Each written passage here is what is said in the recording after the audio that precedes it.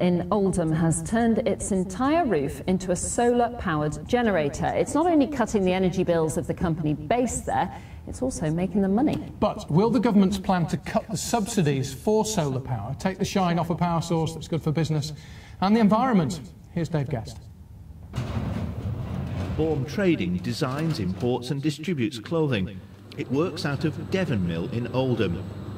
Heating and lighting this five-storey, 100-year-old building eats money.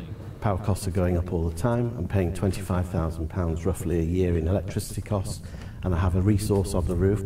He's right, the roof is a big resource, big enough to house more than 600 solar panels. These panels also earn money for David. He's paid for every kilowatt he produces through something called the feed-in tariff.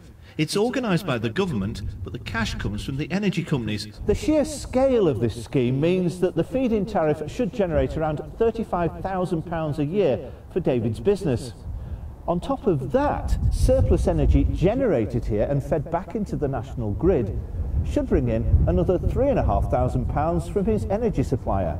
But the feed-in tariff payments will be lower for new installations because of changes ordered by the government.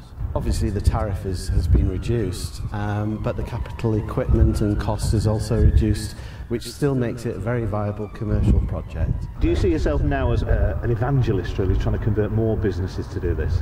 Well, I'm hoping that other businesses will take up the opportunities that we've taken. And with so many former mill buildings, with so many acres of roof space, David believes this region could lead a solar-powered revolution.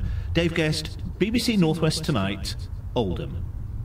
A lot of sun there. Oh, exactly what I was going to say. Always helps having a bit of sunshine. We didn't get a lot of that today, did we?